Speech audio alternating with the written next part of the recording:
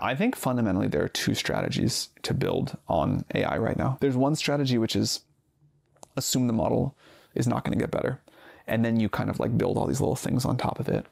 Um, and then there's another strategy which is build assuming that OpenAI is going to stay on its same rate of trajectory, and the models are going to keep getting better at the same pace. Um, it would seem to me that 95% of the world should be betting on the latter category, but a lot of the startups have been built in the former category. And then when we just do our fundamental job, which is make the model and its tooling better with every crank, then you get the OpenAI killed my startup meme. Um, if you're building something on open, on GPT-4 that a reasonable observer would say if GPT-5 is as much better as GPT-4 over GPT-3 was, not because we don't like you, but just because we like have a mission, we're gonna steamroll you.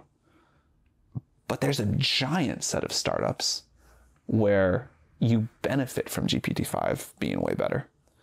And if you build those and AI progress keeps going the way that we think it's going to go, I think for the most part you'll be really happy. As an investor looking for an investment thesis that will actually last, what are those that will not be steamrolled that I can invest in, Sam? Um, Ask the company whether uh, a 100x improvement in the model is something they're excited about.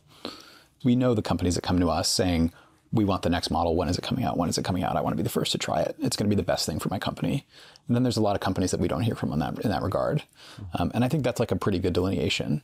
Um, is if there's a clear path to how better intelligence, better underlying intelligence accelerates that product in that company, um, they should. The, most companies can tell that story really clearly. I talked uh, just this morning to an AI like medical advisor, I guess they would call it, um, and they were like, you know, here's the places the model's underperforming. It's still pretty useful for like these kinds of things, but if the model could just get like this much better on these metrics, um, we'd have all these other businesses. So like, can you all do that faster?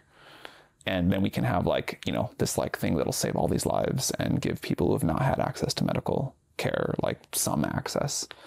And, you know, how soon can we get that? And, you know, here's how many people are dying every day you delay. It was an effective pitch actually.